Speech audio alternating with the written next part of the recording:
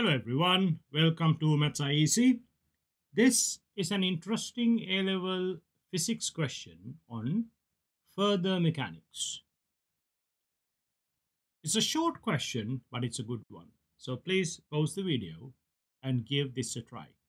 When you want to check your answer against mine, continue the video. The hour hand and the minute hand of an analog clock overlaps exactly at 12 hours. So we can see at this point here, both hands are on top of each other. So they are overlapped. Find the time to the nearest second at which they overlap next. Now, here's what happens. So when time goes on, you know, the minute hand will move like that. That will go fast. And the hour hand will go slightly slowly. So what happens is obviously this will go further. It gets close to that. Then this gets close to that. And it comes to a certain point. Then at one o'clock, it will be like that. Now, this will pass it and you can see somewhere around here. I mean, we need to find exactly where, but just after one o'clock, there will be a point at which they overlap. So my intention for this calculation is finding the angle, let's call this theta, between this dashed line and the point at which this overlap takes place. So we know the time is one, you know, couple of minutes past one something, but we need to exactly work out what that time is. That is the question here. Let's consider the hour hand first. For the hour hand, we are going to write omega equals theta over t, and it completes a whole cycle, like starting from the beginning, it completes the whole circle, the 2 pi radians, in 12 hours. Because in 1 hour, it will go here, 2 hours, 3 hours, 4 hours, like that, all the way to the starting point in 12 hours. So the time is, in seconds, 12 times 3600. That's the number of seconds in an hour. So that is omega for the hour hand. Theta. We need to uh, consider the uh, angle here, right? Let's call it theta for the time being. And let's say the time at which it happens is t. Right? Let's call this one. Now let's consider the minute hand. Now, what we need to understand is from 12 o'clock until this overlap takes place, the hour hand only goes through an angle theta. So that's why we use theta here. But what about the minute hand?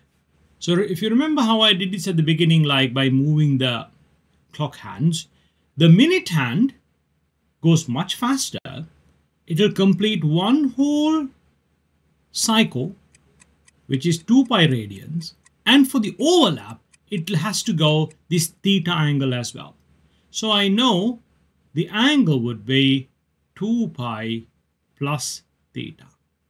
And it happens at the same time. That's what we are trying to find, at which time they overlap. So the time is t. Now, what is omega for the minute hand? The minute hand covers 2 pi radians in one hour right? So in 5 minutes is here, 10 minutes, 15 minutes, 20 minutes, half an hour, 1 hour. So 1 hour is 3600 seconds. So that is my equation 2. Now, we've done the hard part now.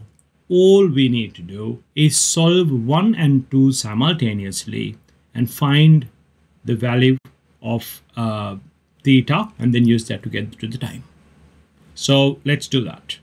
Now, to simultaneously solve it, I'm going to make t the subject from this one, and I'm going to make t the subject from this one, and I'm going to just equate both of them. So here, t is theta divided by 2 pi multiplied by 12 times 3600. So all I did, move the t to that side, move the 2 pi to this side, and 12 times 3600 next to the theta. So theta times 12 times 3600 over 2. is equal to, let's make t the subject from here. So I'm going to make bring t to this side and to the right I have 2 pi add theta and I have 3600 divided by 2 pi. So let's write it here. 2 pi add theta multiplied by 3600 divided by 2 pi. Now, this is very easy to simplify because I can see this 2 pi and 2 pi gets cancelled out. 3600 and this 3600 also gets cancelled out. So I get 12 theta is equal to theta add 2 pi move the theta to this side 11 theta is equal to 2 pi so I know theta is 2 pi over 11 and this is in radians. The question is asking about the time. So we know in a clock 2 pi radians or 1 full cycle represents 1 hour because we are talking about the hour hand. Now, what about 1 radian then? Obviously, you have to divide both sides by 2 pi.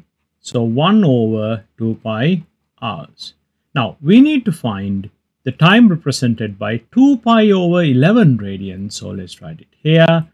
2 pi over 11 radians. So all I need to do is 1 over 2 pi. You need to multiply by 2 pi over 11. Now this 2 pi and this 2 pi gets cancelled out. That gives us 1 11th of an hour. Let's convert this into seconds. So 1 11th of an hour, I need to multiply by 3600 to get the number of seconds. So here I get 327.27 seconds.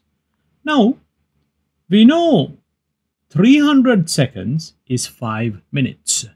So this is 5 minutes and 27 seconds to the nearest second. Now, the question is the time. So the time will be 13.05 and 27 seconds.